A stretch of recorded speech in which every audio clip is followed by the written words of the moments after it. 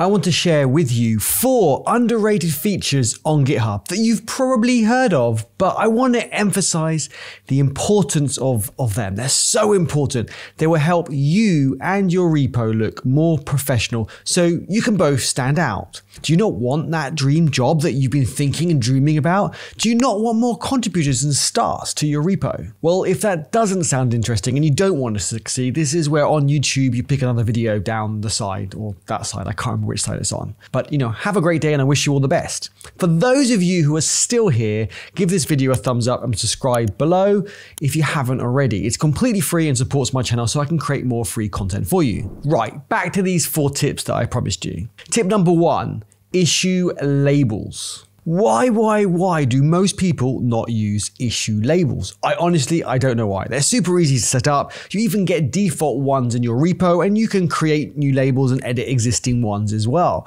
GitHub does give you the defaults. That's a good place to start and you can customize it later. These will not only let you get more organized, but it will make your project discoverable. Yes, discoverable. When people search GitHub, they don't search for a word or a phrase like you would on Google, they're searching for labels like good first issue. So it's really important to have this on your issues in your repo so your project can appear in their search. For those who are still here, here is an extra bonus hot tip. Always have a good first issue available on your project. When someone takes it, make sure you create another one. So you always have a good first issue on your repo. But make sure it's something that someone's going to want to contribute to. It's easy to get started. And also make sure it's something you want to accept and want to have in your project. That's a super hot tip. Don't tell anyone. We'll keep it a secret between us, just me and you. Tip number two, project boards. These are a great way to get organized. There are two versions now. You've got the Projects Classic, which I call version one, the old version, and you've got the Projects Beta, which is version two. I do have a full video on comparing the two between them. Let's focus on version one and you can create multiple project boards and then you just get a standard Kanban board. You can customize this further if you want different columns and you can move them around, all that great stuff.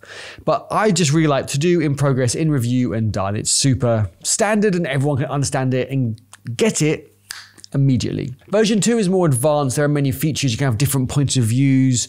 You can automate a lot of things.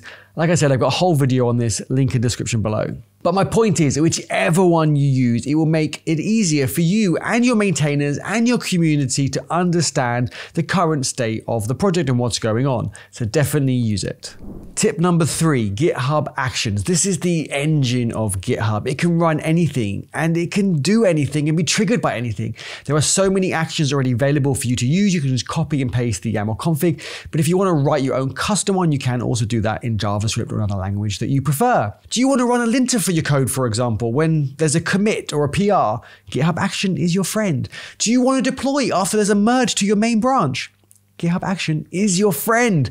Do you want to welcome people when they raise their first issue or pull request by replying with an automated comment? GitHub Action is your friend. Okay, that was really cheesy. I promise that will be the last time I, I, do those types of things. But GitHub Actions you can use and do so many things with them. It's so powerful and it does start off the majority of the time. You just need YAML config. Go have a try. Tip number four. This is really important. I've left the most important one until last. A release is a stable point in your project's journey, and people can then use a stable version in your project as a dependency of their project, or they want to deploy your project, or anything else. They've got a version number, in this case, v0.18.1, and they know at that point in time it was stable. And when they use that number, however they're using your project, they're going to get that exact version and it's going to be super stable. I find that projects that don't take releases a bit scary, and the projects that do look more professional.